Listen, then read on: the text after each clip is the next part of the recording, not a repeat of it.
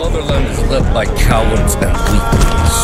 In time, the Americans and their NATO puppets will bring the Soviet Union to its knees.